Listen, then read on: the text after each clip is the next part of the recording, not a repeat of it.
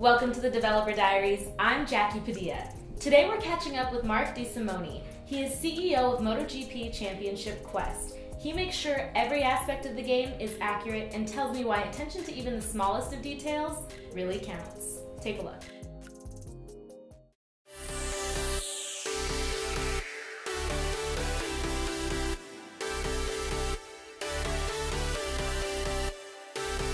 Well, we wanted to make the game um, very true to the sport because we want to make the game for the fans of the of the sport.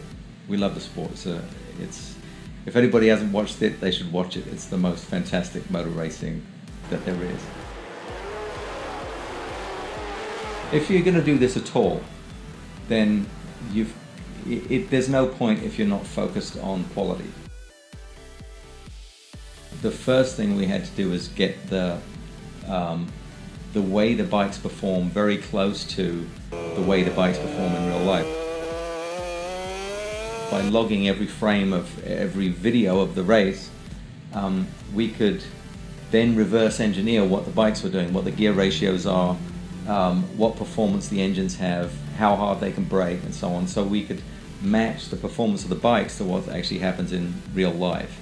And then once we had that, then we could match the behavior of the riders so that they perform braking at just the right time, accelerating at the right time to get the AI racers to perform like the real riders. So actually, if you compare graphs of um, the AI racers against Marc Marquez, they're, they're within fractions of a second on completing a lap.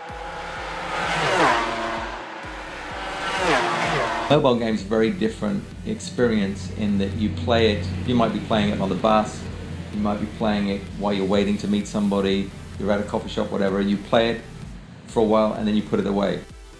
If you pick up a motorcycle game on mobile and you can't keep the bike on the track, you very soon disengage with it. Um, what we wanted to do with this game by taking steering away and getting the player to focus on the, the timing of braking and accelerating um, is keep the player engaged in the race there to, to feel that they're actually in, in a MotoGP race. Um, we felt that other uh, other high-speed motorcycle games that we've played don't have that. You, you don't feel engaged in the race because you've got too much of a learning curve to get you to where you can actually get around the track even. So taking steering away um, both eliminated that problem but also um, allowed us to really focus on what's really important in winning a MotoGP race, which is precision timing on, on when's the perfect moment to brake, when's the perfect moment to accelerate. Um, and those minute changes in time are what uh, make the difference uh, between Rossi and Marquez. So in a race, the, the races are won and lost by fractions of a second uh, late into a corner or braking too early or accelerating late or early. Those, those are the things that win races um, or lose races. Uh, so we wanted to focus the game around um, those experiences rather than make it a game where you're trying to stay on the track, which is what happens a lot of the time. You don't really get the experience of racing in MotoGP, which is what we were trying to do. It's all so extreme. They're coming into a corner at 350 kilometers an hour and then slamming the brakes on and dropping to 64 degrees and then flipping over again to the other side. And it's, it's absolutely amazing. It's amazing that the physics works in the real world, let alone in a video game. You know, that the, the tires, they're, they're riding on a tiny little patch of rubber. And uh, it's just, it blows me away.